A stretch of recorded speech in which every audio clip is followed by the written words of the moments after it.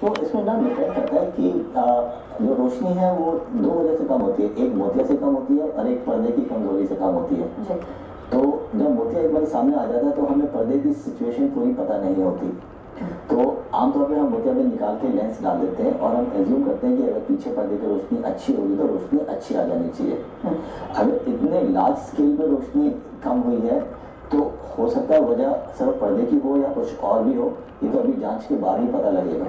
हालाँकि मोतियाबिंद का ऑपरेशन करते वक्त भी किन बातों का खास ख्याल रखा जाता है। क्योंकि यहाँ आप मानते कहीं ना कहीं डॉक्टर्स की भी लापरवाही है।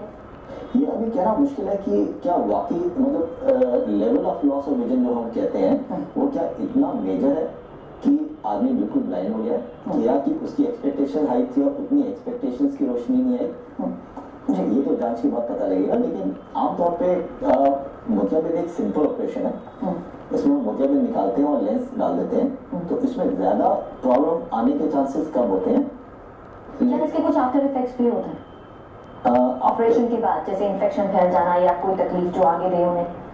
कभी कभी ये भी देखा गया है कि आ, आ, किसी वजह से अगर हमारा ऑपरेशन थिएटर का एनवायरनमेंट बिल्कुल परफेक्ट ना हो तो हवा में जो कीटाणु हैं, जो ऑर्गेनिजम्स हैं, वो ऑर्गेनिजम्स भी ऑपरेटिव एरिया में पहुँच सकते हैं जिसकी वजह से इन्फेक्शन हो सकता है।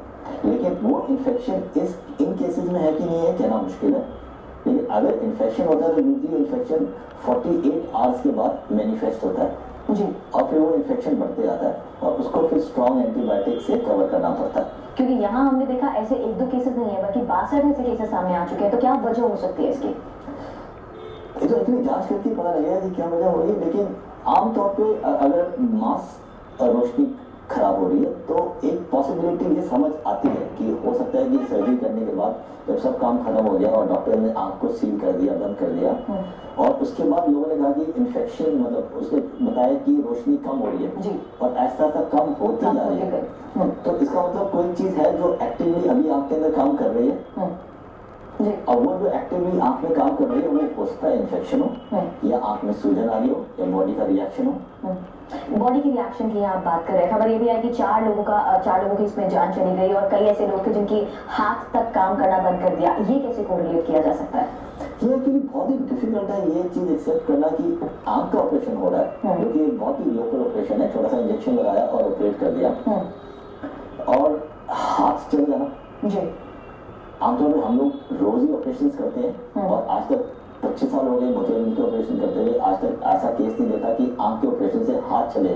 हम्म, जी।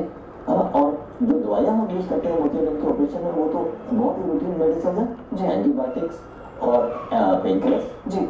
और यहाँ भी जो लोकल हम एंटीबायोटिक्स लगाते हैं जी तो जी उससे वो रिएक्शन हाथ तक जाना बहुत रिमोट चांस है। कुछ और वजह साथ में होगी जिसकी हालाँकि इसकी जाँच ज़रूर की जाएगी। डॉक्टर आपका बहुत बहुत शुक्रिया। लेकिन मामले की फ़िलहाल जाँच की जाएगी और ये पता लगाने की कोशिश की जा रही है कि आखिर ऐसी क्या लापरवाही हुई जिससे पासठ लोगों की आँख की रोशनी चली गई। हम आगे बढ़ेंगे। माइकल जैक्सन की मौत के लिए किसको ठहराया गया जिम्मेदार? बराबर के बाद